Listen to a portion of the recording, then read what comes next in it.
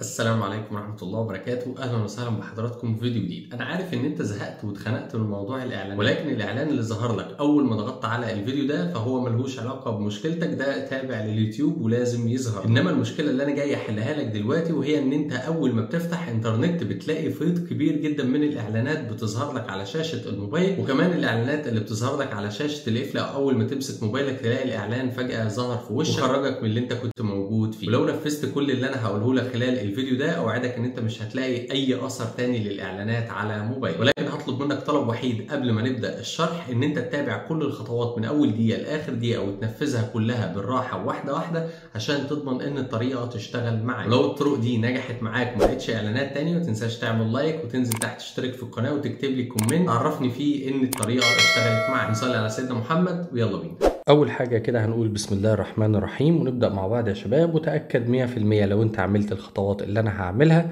حضرتك مش هتشوف إعلانات تانية ولا هتحتاج إن أنت تشوف أي فيديوهات تانية بعد الفيديو ده. أول حاجة كده يا شباب ولازم تكون مقتنع بيها 100% إن جميع برامج تنظيف الهاتف أو تسريع الهاتف هي دي أكتر شيء بيجيب لك إعلانات.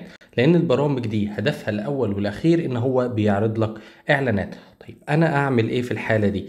أول حاجة أروح كده أضغط على الضبط. بعد كده هنزل لتحت خالص. هضغط على التطبيقات. وهنا شباب هيعرض لي جميع البرامج اللي موجودة عندي في الموبايل.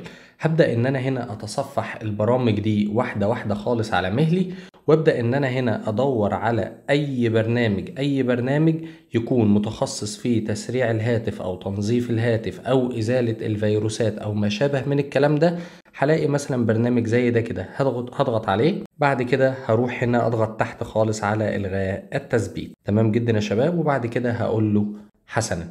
وهبدأ إن أنا أدور تاني لحد منهي جميع البرامج. فحضرتك دلوقتي تقدر توقف الفيديو تمسك موبايلك تاخد وقتك خالص وبراحتك خالص إن أنت تبدأ تتصفح كل البرامج دي. ولو لقيت أي برنامج من ضمن البرامج دي أنت مش عارفها أو ما تعرفش ده بتاع إيه فبرضه تقدر عادي إن أنت تلغي تثبيته أو تحذفه. دي كده يا شباب كانت الطريقة الأولى.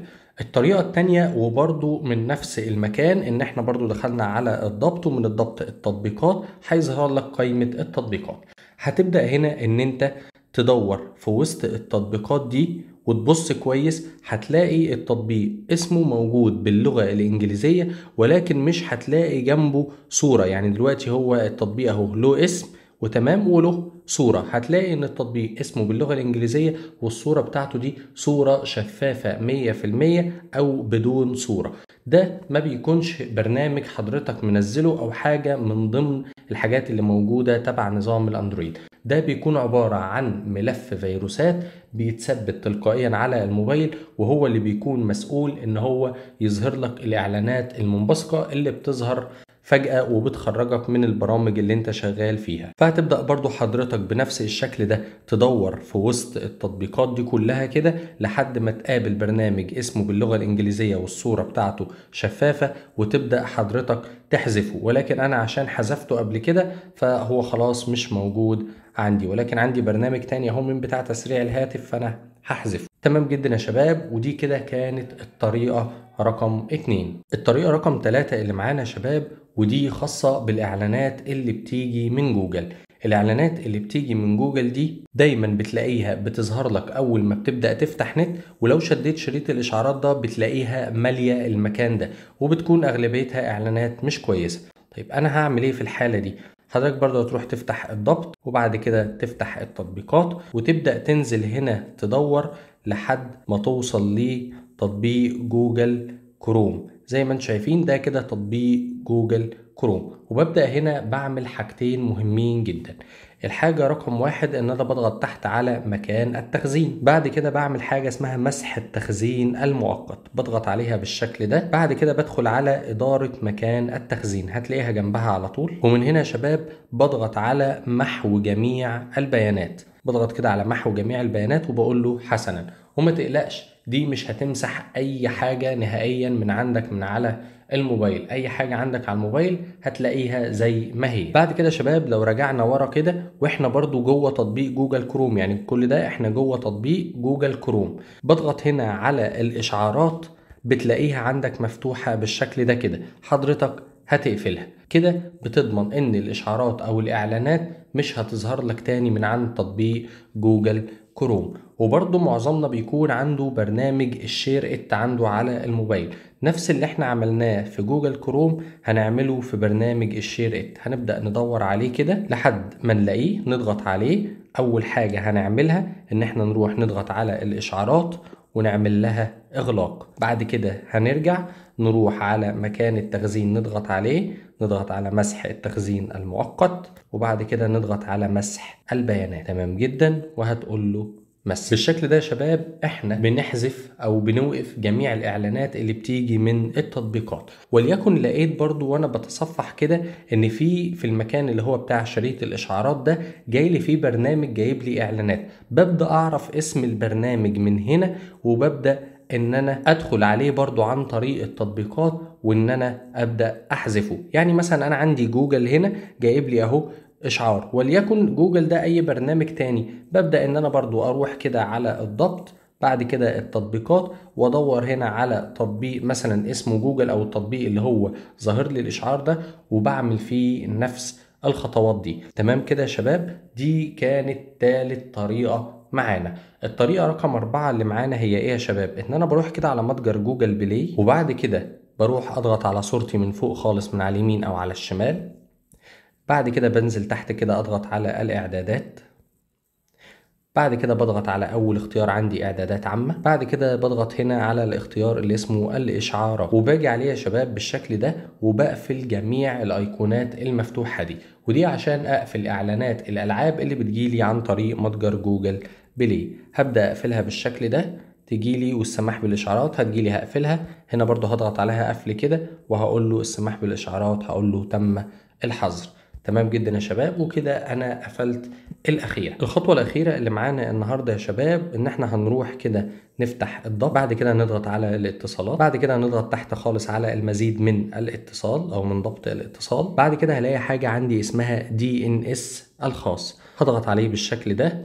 هتلاقيه معمول تلقائيا هتضغط كده على اسم مضيف مزود DNS الخاص بالشكل ده وهتكتب الجملة اللي مكتوبة دي DNS dot adguard.com وبعد ما تكتبها بشكل صحيح هتعمل لها حفظ. ولكن هنا شباب لازم تاخد بالك من حاجة مهمة جدا إن في بعض الموبايلات ما بتدعمش آخر حركة اللي إحنا عملناها دي بتاعة تغيير ال DNS فلو ما حصلتش معاك الحركة دي أو ما تعملتش معاك فمفيش أي مشكلة. عادي جدا هو موبايلك ما بيدعمش تغيير ال DNS ولكن لو بصينا لموبايلات سامسونج أو أوبو أو ريلمي أو إنفينكس أو شاومي كلهم بيدعموا تغيير ال DNS عادي جدا. وده فايدته برضه يا شباب عشان تكون عارف إن أي إعلان بيظهر لك وأنت بتتصفح الإنترنت فهو بيعمل له block تلقائي. وبكده يا شباب هيكونوا الأربع طرق اللي أنا جاي أشرحهم لك النهارده خلصتهم. ولكن في حاجتين لازم تاخد بالك منهم كويس جدا. أول حاجة لو أنت عملت الأربع طرق دول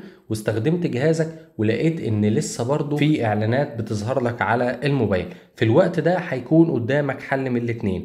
الحل الأولاني إن حضرتك تروح تفتح الضبط وبعد كده تنزل لتحت تضغط على الإدارة العامة بعد كده تنزل لتحت تضغط على إعادة الضبط وهنا هيطلع لك كذا اختيار منهم إعادة ضبط كل الإعدادات وآخر حاجة إعادة تعيين بيانات المصنع. حضرتك هتروح تضغط على إعادة ضبط كل الإعدادات.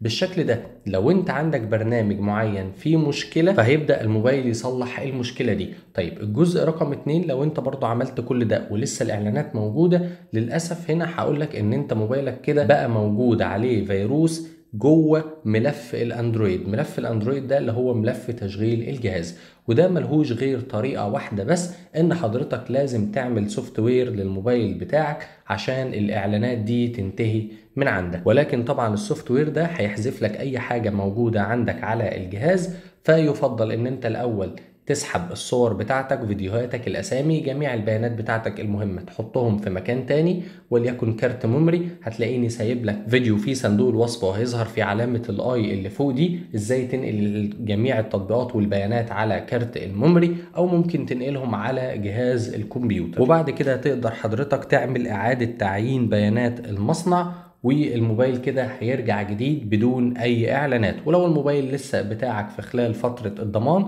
بتقدر حضرتك تروح التوكيل الشركة اللي حضرتك تابع ليها أو اللي أنت شاري منها موبايلك وبرضه بيقدر هناك يعمل لك software للموبايل. كده شباب نكون انتهينا من شرح النهارده. أتمنى يا رب يكون الشرح أعجبكم. ولو جربت الطريقة ونجحت معاك انزل اكتب لي تحت في ال comments ات. ولو عندك أي مشكلة والطريقة ما نجحتش معاك برضه اكتب لي في ال comments ات وأنا هرد عليك في أسرع وقت ممكن. ما تنساش ال like والاشتراك وإن أنتوا تدعوا لإخواتنا. ربنا يا رب كده ينصرهم ويفك الكرب عنهم.